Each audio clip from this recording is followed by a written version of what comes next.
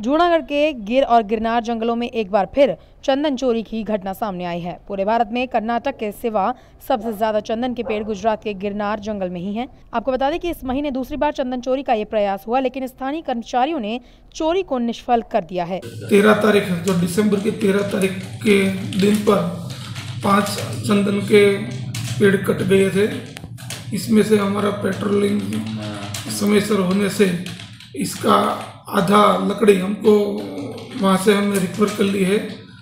दोबारा कल last night को दो हज़ार कट के कट रहे थे चार लोग। तो हमारे पेट्रोलिंग के स्टाफ ने इसको स्थल पर पहुँचते इसके बीच में जपाजपी होने के बाद जो गुनेगार है वो भागने में सफल हो गए हैं। और पूरा माल हमको स्थल पर ही मिल गया है। મારું નામ છે લાખા દેવસિંહ રોજમદાર મજૂર લેબર હોય, મારો સ્ટાફ તમામ.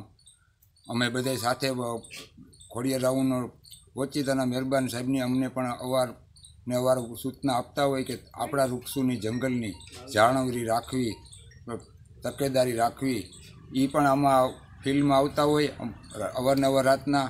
પછી અમે પણ ઓચિતાના ગમે ત્યારે ફિલ કરવી પેટ્રોલિંગ કરવી, એવી તકેદારી રાખવી, એવી અમારા મહેરબાન ડીઓપો સાહેબની સૂચનાથી અમે ગમે તે વચિતાની પેટ્રોલિંગ જંગલ વિસ્તારમાં રાખીએ છીએ, આ વૃક્ષોને બચાવવા જાળવવા માટે. અને આ અમે અવાજ આવ્યો પેટ્રોલિંગ કરતા દમૈયાર. તો ત્યાં કણે અવાજ આવતા અમે ધીરે ધીરે પાછળ અમે એને પકડવાનું પરિવર્તન કર્યું.